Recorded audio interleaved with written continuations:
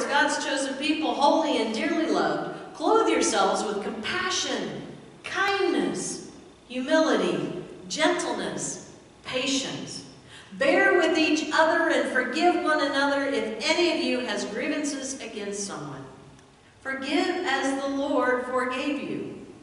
And over all these virtues, put on love, which binds them all together in perfect unity. Let the peace of Christ rule in your hearts, since as members of one body you are called to peace, and be thankful. And again from Galatians 5.22, maybe I have this memorized by the time we're done with this. But the fruits of the Spirit is this, love, joy, peace, patience, kindness, goodness, faithfulness, gentleness, and self-control.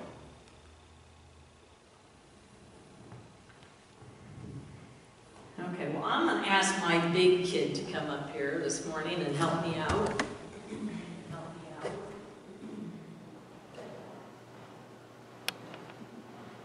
All right, so what I have got here is an envelope, and I have one, two, three, four, five cards. Okay?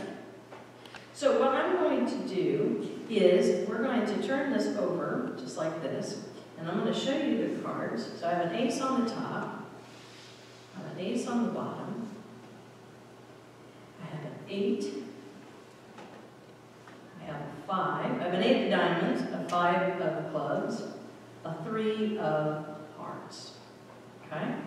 So what I'm going to do is I'm going to take this one here, and I'm going to just put it in this little envelope, like this. Uh, stick it right in there. I'm just going to put it right off there. So now I have four cards, right? Can you count? She's a college student. She can count. One, two, three, four. Okay, so what I want you to do, we're going to do just a little magic, okay? We're going to move some cards around. Now we only moved one, right? We had five, now we have four. But what I want you to do, we had two aces, we had what, a three, five, and an eight. I want you to flip those over and tell me what we have.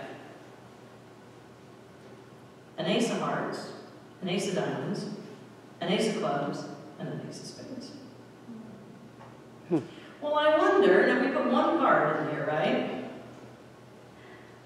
What do we have in here? We have three cards. We have three hearts. Have of spades, or five.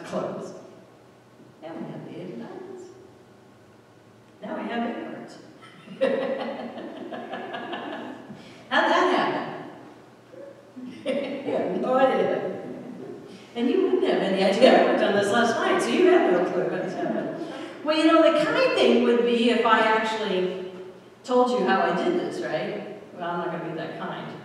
But one could say that we actually have what? We have four of a kind. you know what? I think really it kind of shows that we are all the body of Christ, aren't we? And we're all one of a kind. Thank you. Much about you, Dear Heavenly Father, we thank you so much that uh, you give us these attributes, and kindness is one of them.